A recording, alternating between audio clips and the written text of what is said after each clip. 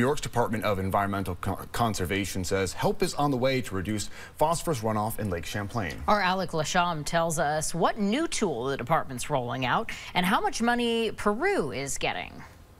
Nearly 40 years old, this critical infrastructure facility in Peru is one of many in the North Country that needs new upgrades to meet incoming new state requirements. For the most part, it's it's failing infrastructure that impacts our our water quality. Commissioner Basil Seggos of New York's Department of Environmental Conservation, or DEC, says the agency has finally completed the Lake Champlain Watershed Implementation Plan. It sets up the next round of uh, really important actions and that is our uh, financial investments in this body of water. It's been years in the making, all in an effort to reduce phosphorus from getting into the lake, a major focus for environmental leaders.